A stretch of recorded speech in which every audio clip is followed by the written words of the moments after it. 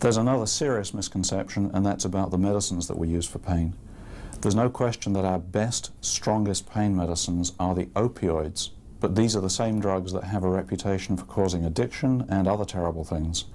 Now, in fact, the rate of addiction amongst pain patients who are treated by doctors is much less than 1%.